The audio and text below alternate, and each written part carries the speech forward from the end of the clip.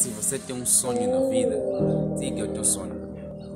E não espere que as pessoas acreditem nos teus sonhos.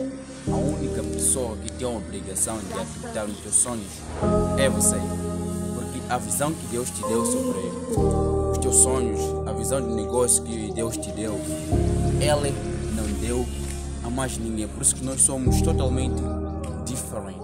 Se Ele te deu essa visão, porque Ele tem um propósito. Não espere que as pessoas acreditem em ti. Você tem que ser a principal pessoa que deve acreditar nos teus sonhos. Acorde, trabalhe duro para a realização. A realização teus muita gente que desiste por falta de feedback das pessoas. Meu irmão, não espere tanto feedback das pessoas. Siga bem os teus sonhos. Se Deus te deu uma visão, você siga em frente. Os resultados podem não ser imediatos, cedo ou tarde.